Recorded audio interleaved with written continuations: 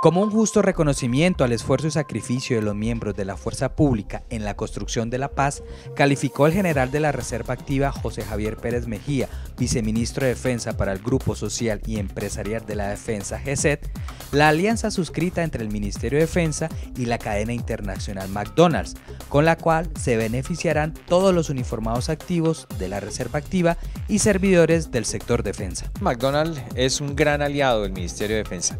Entonces tenemos un lindo proyecto con McDonald's en el Hospital Militar para los niños que están hospitalizados. Un proyecto bellísimo. Y hoy McDonald's se une a las fuerzas militares y Policía Nacional en todo el país a darle un descuento permanente a todos los uniformados, retirados, viudas, esposas e hijos de, de, oficiales, suboficiales, patrulleros, policías y demás en todos los eh, centros de McDonald's a nivel nacional.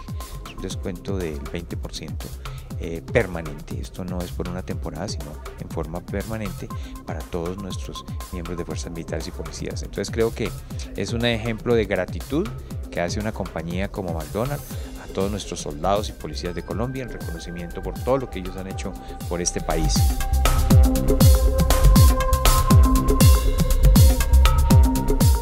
presentando su credencial, eh, presentando un documento que lo certifique como miembros de la, de la del ejército, de las Fuerzas Armadas o de la policía, eh, presentando bueno, pues alguna documentación que los acredite como tales, eh, ya, ya, está, ¿no? No, hay, no, hay no hay que sacar una tarjeta especial, ni pedir un trámite, ni nada, es simplemente eh, identificarse y con eso ya, ya acceden al descuento.